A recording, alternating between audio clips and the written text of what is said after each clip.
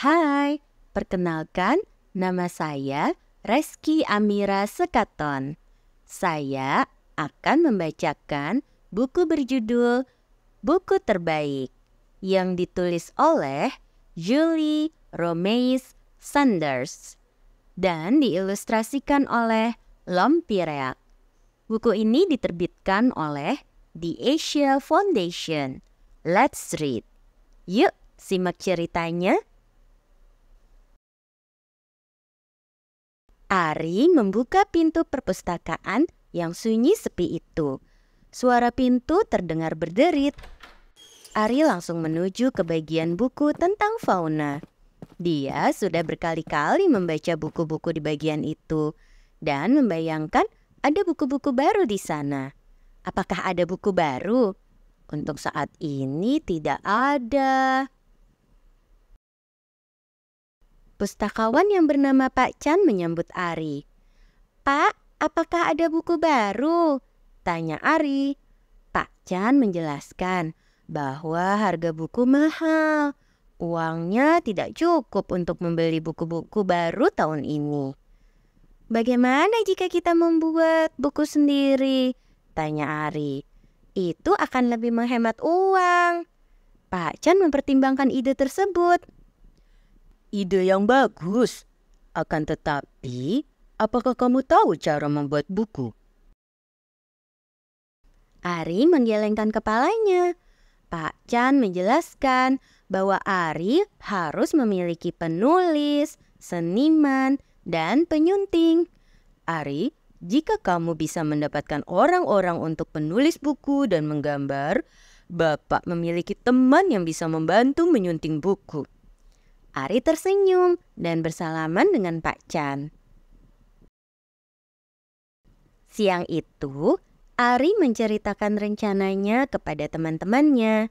Tiga orang teman sekelasnya ingin mencoba menulis, dan yang lainnya ingin menggambar. Di perjalanan pulang, ia berhenti untuk membeli makanan. Ternyata penjual makanan tersebut juga seorang penulis. Malam itu, ayah Ari yang seorang seniman hebat berjanji akan membuatkan gambar untuk beberapa buku. Hari berikutnya, Ari mengajak semuanya ke perpustakaan. Pak Chan menunggu di sana bersama seorang wanita bertubuh tinggi yang membawa buku catatan, laptop, dan beberapa pensil warna. Ari, kemarilah.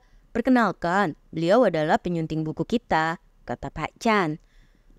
Halo Ari, saya Dara. Saya seorang penyunting buku. Saya mengetahui bahwa kamu ingin membuat buku untuk perpustakaan. Ya, betul. Kita membutuhkan banyak buku, terutama buku tentang fauna. Bagaimana caranya? Kita sudah ada orang-orang yang akan menulis dan menggambar buku-buku tersebut. Dara menjelaskan bahwa pekerjaan penyunting buku adalah membantu penulis untuk menjadikan buku yang ditulisnya jauh lebih baik. Penyunting membuat tulisan atau cerita menjadi lebih menarik, lucu, atau menakutkan dengan berbagai karakter yang membuat anak-anak ingin membacanya berulang kali. Selain penyunting, ada juga yang disebut sebagai pemeriksa naskah yang tugasnya memastikan semua ejaan dan bahasa yang digunakan sudah tepat.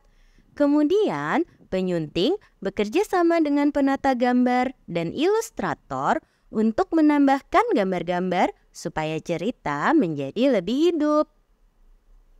Kamu tidak bisa melihat pekerjaanku di buku yang sudah selesai karena pekerjaan ini seperti tidak terlihat.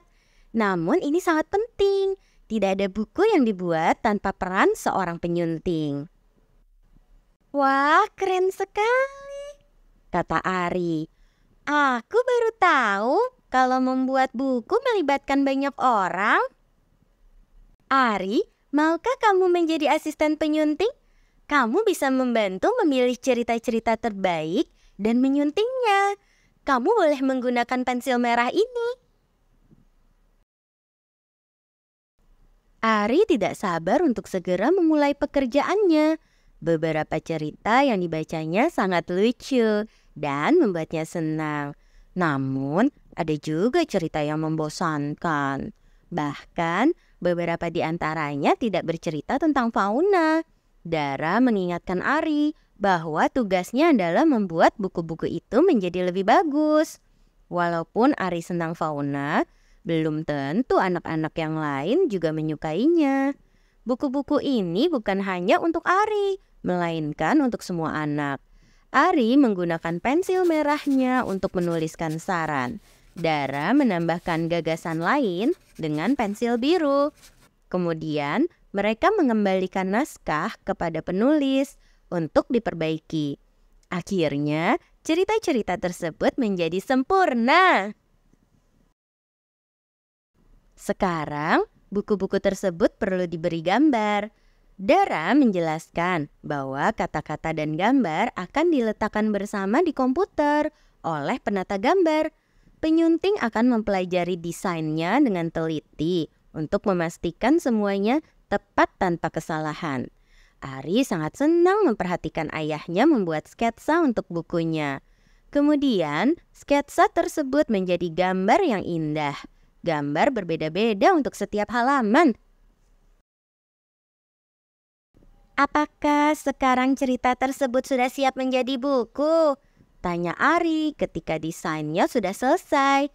Ternyata ini membutuhkan waktu lebih lama dari yang dia kira dan banyak yang harus dikerjakan. Sudah bisa, Ari, kata Dara tersenyum. Hari ini kita akan mengirim berkas yang ada di komputer untuk dicetak. Dalam beberapa minggu, buku-bukunya akan tiba. Ari tidak sabar menunggu. Dia penasaran apakah hasilnya akan bagus. Apakah orang-orang mau membacanya? Setelah menunggu, dia melihat sebuah truk melintas.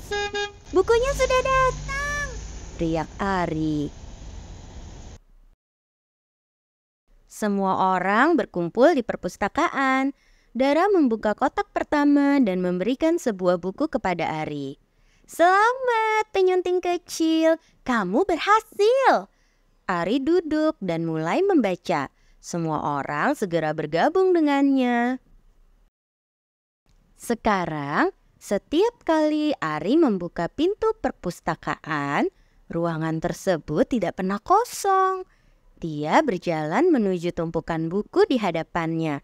Bagian baru kesukaannya dan mengambil buku yang ingin segera dibacanya untuk pertama kali.